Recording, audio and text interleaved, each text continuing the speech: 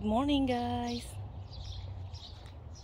Ito nga pala guys, itong mga to, iha-harvest na natin. Tapos i-dry natin. Kasi tingnan nyo oh, ma-over ano sila, magbubukas tapos yung mga ibon kinakain na rin. Ayan oh. Pwede na silang i-harvest tapos i-bilad. I-bilad ba yon?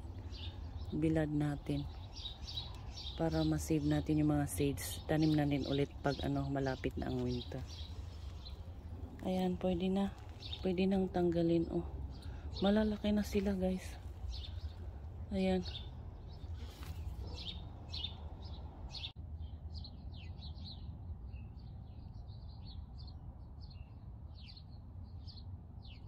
Ayan guys, oh, yung kamatis na yan, hindi natin yan tinanim mismo tumubo lang dyan sa mga ano dito sa mga tinaniman natin. Tapos nilipat ko dyan guys oh. Ayan. Tapos may sili pang na tumubo guys oh. Hindi ko tinanim yan. Tumubo lang dyan. Kasi minsan yung mga yung mga campus natin ba guys? Ayan. May mga seeds na nasasama. Ayan sila oh tumutubo talaga. Ito yung campus natin guys na tinaniman natin na box. So far so good guys yung mga tinanim natin. Update ko kayo dito sa purple na beans natin guys. Yung bush beans na purple. Ito na sila guys oh.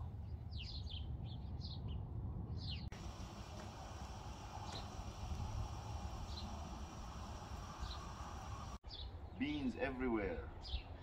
Ito si Jojo guys, oh. Chine-check niya, ini-inspect niya yung mga garden natin. inspection time, inspection. If Those are beans too, right? oh yeah.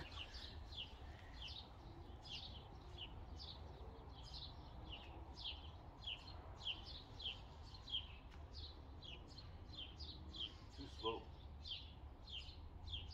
They are too slow. I know.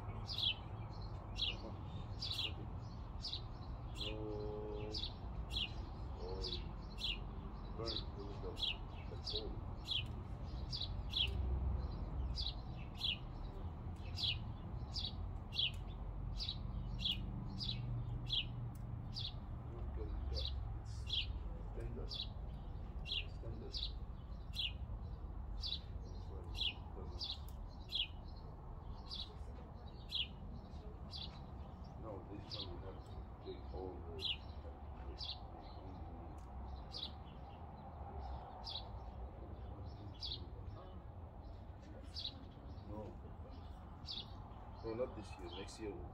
Next winter.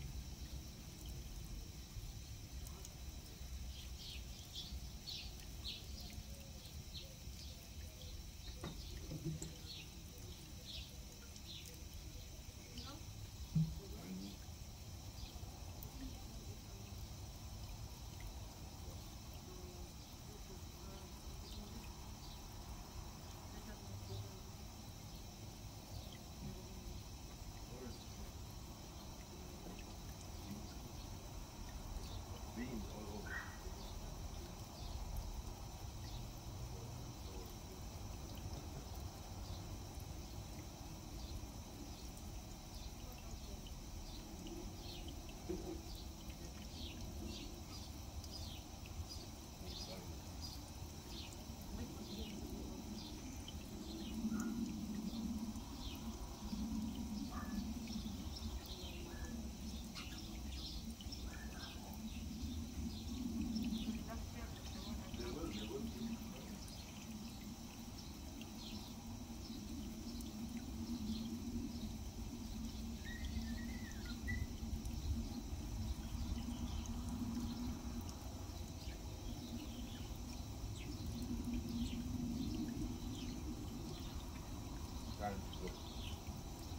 To go to work.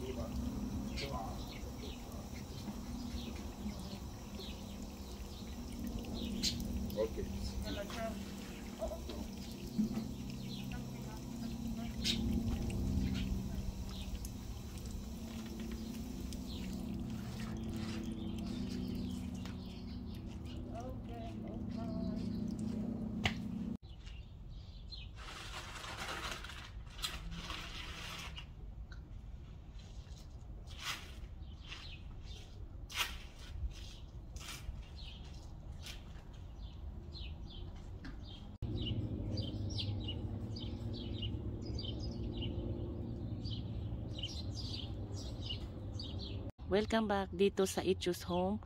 Iha-harvest natin itong kale natin kasi tingnan nyo yung mga seeds niya ano pwede nang i-harvest tapos sa ano natin i-dry natin para sa next uh, season.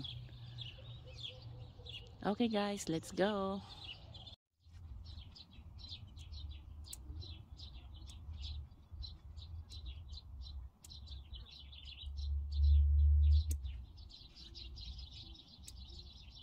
Lalaki nila guys, oh, seeds. Lalaki. Kinakain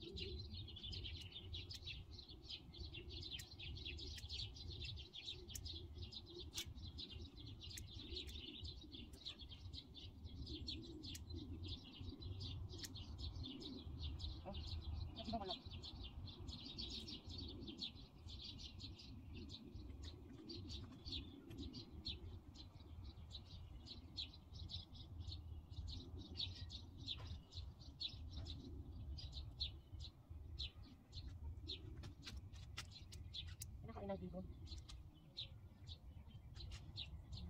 Kinain ng ibon. Ayan guys, oh. Pero yung iba, medyo ano pa, di ko napansin.